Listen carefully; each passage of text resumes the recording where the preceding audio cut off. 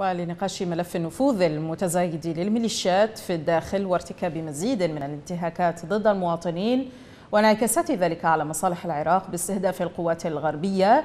ينضم إلينا عبر سكايب من العاصمة الأردنية عمان الكاتب والمحلل السياسي عبد القادر النايل. أهلا بكم سيدي. أهلا وسهلا بكم ومشاهديكم الكرام. أستاذ عبد القادر لا تزال تداعيات الهجمات على المصالح الغربية والأمريكية تتوالى مع توقعات لرد الإدارة الأمريكية عليها رغم أن هذا الرد لم يأتي بعد من المسؤول برأيك عن استمرار استهداف المصالح الأمريكية والغربية مع تزايد نفوذ الميليشيات؟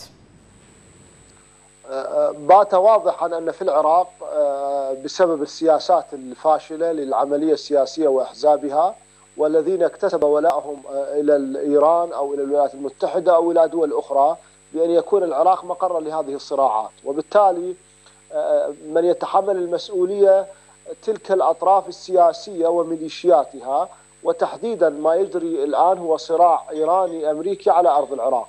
لذلك فإن إيران هي المستفيد الأول من هذا الصراع فبالتالي تدفع باتجاه استهداف المنشآت أو التواجد الغربي الموجود في العراق على حساب العراق من أجل تمرير مكاسبها ومصالحها فورقة الأمن الموجودة في العراق وفي دول أخرى ليس في العراق فقط هي التي تفاوض فيها الولايات المتحدة على حصارها وعلى ملفها النووي وبالتالي هي تحمل ورقة مهمة بأن أمان وجودكم يتعلق بالتعاون المستمر مع إيران. وهذا أيضا ما تتحمله الإدارة الأمريكية قبيل احتلال العراق التي سمحت لإيران بالتواجد والتمدد وهي من الآن تدفع فاتورة الانتشار الإيراني في العراق وفي دول أخرى. تحدث الرئيس الحالي برهم صالح عن قرار مرتقب بإنهاء وجود القوات الأجنبية في العراق. كيف يمكن تفسير تعاطي الميليشيات مع هذا القرار بعد قصف المقار والمصالح الأمريكية؟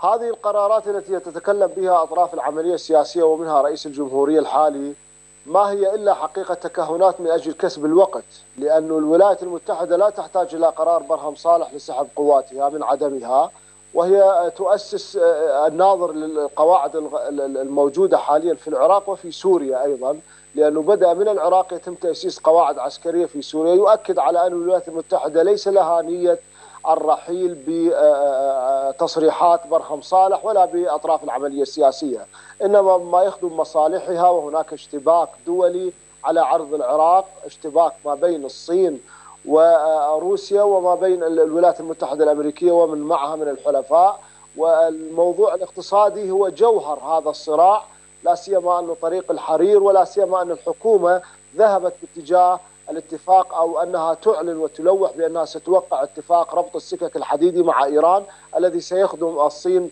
وطريقها الحريري اقتصاديا، لذلك تصريحات برهم صالح ما هي إلا للتضليل وكسب الوقت لهذه الميليشيات ربما حتى يتم إقناعها بعدم قصف المقار الغربية، لكن بالتأكيد ولا سلطة لديهم عليها فإن تعليماتهم تأتي من إيران ومن خلال إيران يتم تحديد ما أن يستمر القصف من عدمه. بعد فتح الحكومة لمئات التحقيقات في هذه الانتهاكات إلى أي مدى تجرى تحقيقات فعلية وتتوصل لنتائج ملموسة يعاقب مرتكبوها لاحقا؟ النتائج ملموسة ومعلومة، إذا كان الشعب العراقي يعلم لأن هؤلاء إلى الآن يمتلكون خطوات بدائية من خلال نقل الصواريخ ومن خلال الكشف عن سياراتهم داخل المناطق والأحياء السكنية وبالتالي هم معلومين ليس مجهولين فضلا على أن هناك رصد كبير للكاميرات المراقبة وغيرها. فالحكومة تعلم لأن الشعب المواطن البسيط يعلم الأسماء والجهات بل حتى الأفراد العاديين الذين يتم تنفيذ بهم هكذا قصف معروفين. لذلك الحكومة لديها معلومة واضحة لكن الحكومة متواطئة معهم لأن جزء كبير من تركيبة السلطات الحكومية والأجهزة الأمنية هي من هذه الميليشيات. وقد رأيتم الصراع الذي حدث قبيل نقل 150 منتسب في المخابرات إلى مناطق أخرى بينه وبين الميليشيات والتصريحات التي اتهمته بأنه يدار من دول أخرى. هذه حقيقة يعكس حقيقة الصراع الداخلي وحقيقة نعم. تغلغل هذه الميليشيات داخل الأجهزة الأمنية. لذلك لا وجود لنتائج أصلا من التحقيقات لأنهم لا يجرؤون على تنفيذ هذه التحقيقات أو القبض على فاعليها ولذلك رأيتم عندما تم القبض على منفذ هجمات أربيل من ميليشيات سيد الشهداء تم وضعه أمام التهم والاعترافات التي أدلى بها. رأيتم ردة فعل الميليشيات على أربيل بطريقة واضحة. اذا لا يوجد هناك نوايا صادقة من السلطات الحكومية لا للقبض ولا للكشف ولا للإفصاح الرأي العام عن المعلومات التي يمتلكونها لهؤلاء المجرمين من الميليشيات الذين يقتلون العراقيين. هم لم يفصحوا عن قتلة العراقيين والمتظاهرين حتى يفصحون عن الذين يمارسون القصف على المنشآت الغربية أو على القواعد الغربية. ما مدى تغير الموقف الأمريكي بعد وصول جو بايدن للبيت الأبيض وإعلانه التصدي لإيران وأذرعها؟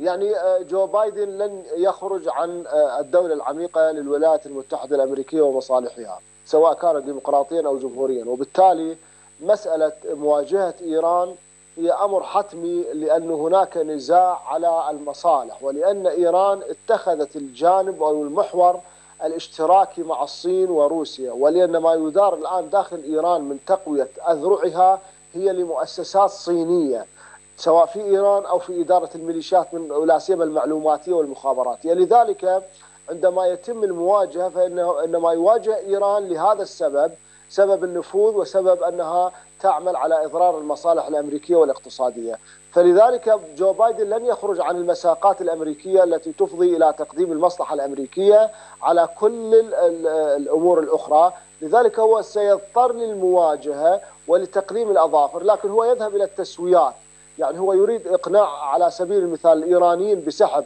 ميليشيات فاطميون من سوريا وزجها بالجيش الأفغاني لمقاتلة طالبان.